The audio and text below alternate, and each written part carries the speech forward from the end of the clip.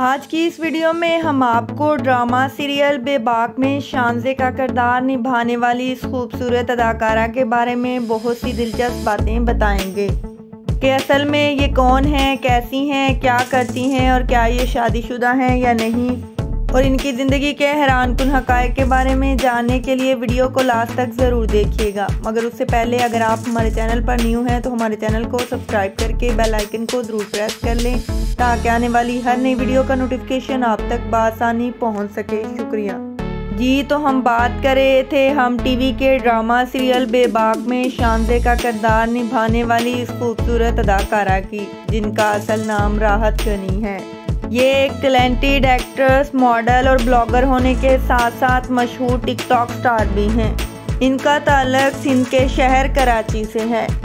अदाकारा राहत गनी 12 जनवरी को सिंध के शहर कराची में पैदा हुई। इस वक्त इनकी उम्र तकरीबन 26 साल है।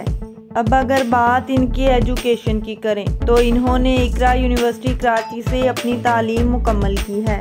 इस खूबसूरत अदाकारा की। आईज का कलर डार्क ब्राउन जबकि हेयर्स का कलर ब्राउन है। और इनकी हाइट पाँच फुट छः इंच है और वेट तकरीबन 62 केजी है और इनका मज़हब इस्लाम है।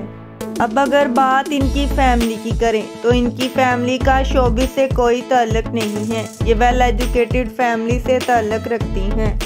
बहुत से लोगों का कहना है कि इनकी शक्ल भारतीय अदाकारा करीना कपूर से काफ़ी हद तक मिलती है। अब अगर बात इनके शोबिस कैरियर की करें तो इन्होंने 2020 में मॉडलिंग से अपने कैरियर का आगाज़ किया। ये कई मशहूर ब्रांड्स के लिए फ़ोटोशूट भी करवा चुकी हैं।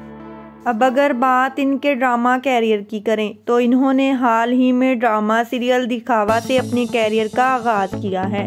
ये कई पाकिस्तानी ड्रामों में स्पोर्टिंग करदार अदा कर चुकी हैं।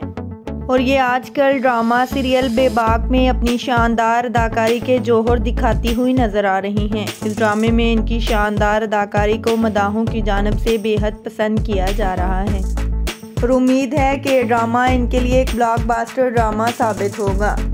तो आपको इस टैलेंटेड और ख़ूबसूरत अदाकारा राहत गनी के बारे में जानकर कैसा लगा कमेंट्स में ज़रूर बताइएगा। अगर वीडियो अच्छी लगे तो वीडियो को लाइक कीजिएगा, अपने दोस्तों के साथ शेयर कीजिएगा और हमारे चैनल को सब्सक्राइब करना ना भूलिएगा।